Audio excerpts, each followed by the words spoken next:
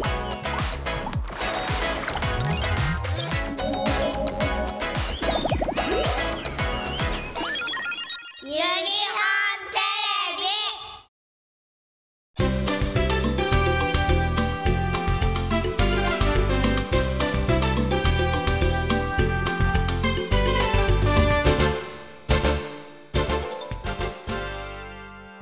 はい、えー、鳥海山木のおもちゃ美術館の佐藤です、えー本日も館内で遊べるおもちゃをご紹介します。まずはじめにご紹介するおもちゃはこちらになります。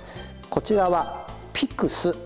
ピクスという名前のおもちゃになります。はい PIKS ピクスになります。これは、えーまあ、ここにちょっと飾ってますけどもさまざまな形の、えー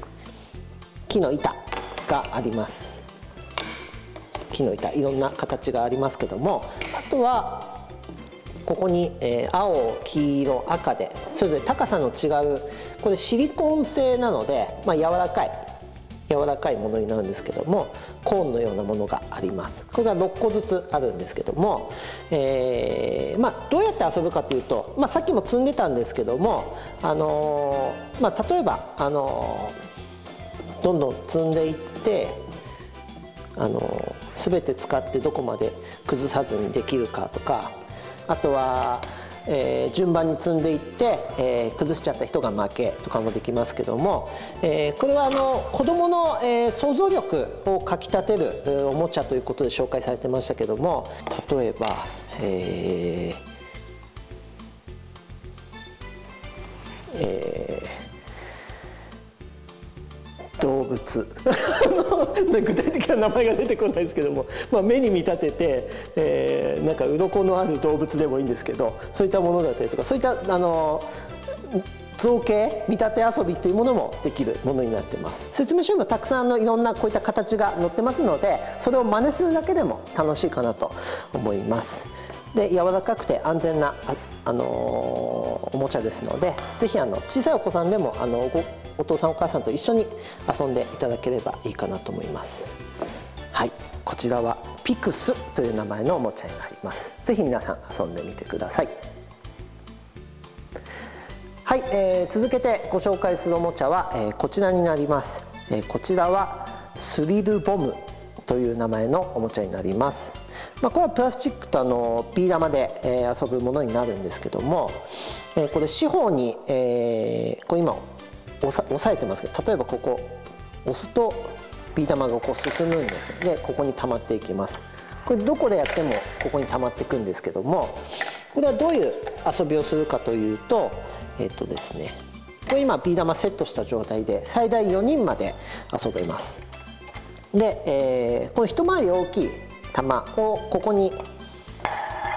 コロコロ転がします。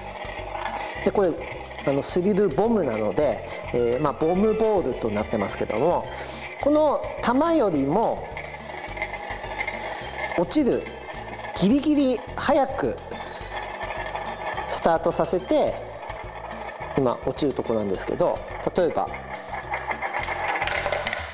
これで今ちょっと先に行きましたけども今私1つしかやってないんでこれ今点数ゼロなんですけども例えばこれが今ちょっと2人分1回やってみますけども、まあ、4人同時であのこれより早く落とす。でも早すぎるとさっきみたいにゼロなんですけどこれが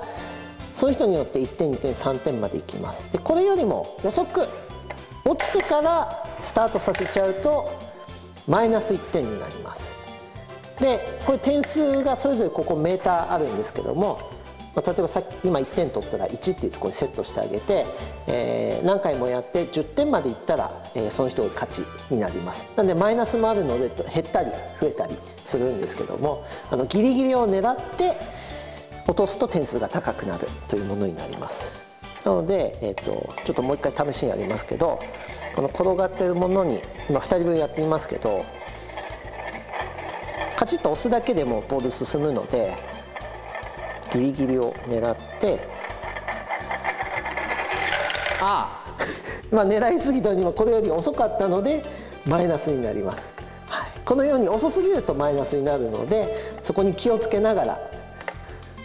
あのギリギリを狙って誰が早く点数を10点まで貯めれるかという、えおもちゃになります。4人同時でできるのであのこれはシンプルなただ押すだけなのでタイミングを見て押すだけなので子供だけじゃなくてあの大人の方もあの遊べるかなと思いますのでご家族みんなで、はい、遊んでいただければと思います。はいこれはスリルボムという名前のおもちゃです。ぜひ皆さん遊んでみてください。はい、えー、館内には他にもたくさんおもちゃがございますのでぜひ皆さん遊びにお越しください。お待ちしております。